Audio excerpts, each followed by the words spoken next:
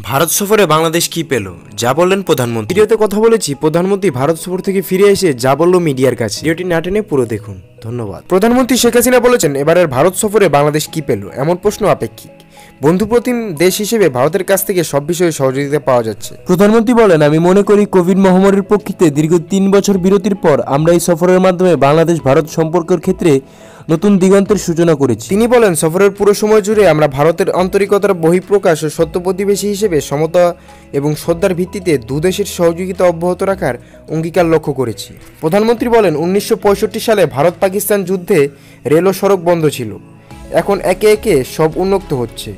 এছাড়া যৌথ পরিকল্পনাগুলো বাস্তবায়নে একমত হয়েছে ভারত বাংলাদেশ। শেখ হাসিনা বলেন, ভারতের শিলিগুড়ি থেকে বাংলাদেশ দিনাজপুরের পার্বতীপুর পর্যন্ত ভারত বাংলাদেশ ফ্রেন্ডশিপ পাইপলাইনের মাধ্যমে ডিজেল আসবে। ফলে তেল পরিবহনের খরচ অনেকটা কমে যাবে। এই পরিকল্পনার আওতায় একশো একত্রিশ পয়েন্ট সাতানব্বই কিলোমিটার পাইপলাইন রয়েছে। এর মধ্যে বাংলাদেশের অংশে রয়েছে একশো ছাব্বিশ পয়েন্ট সাতানব্বই এবং ভারতের অংশে পাঁচ কিলোমিটার পাইপলাইন ভারত সরকারের অর্থায়নে নির্মাণ কাজ চলছে।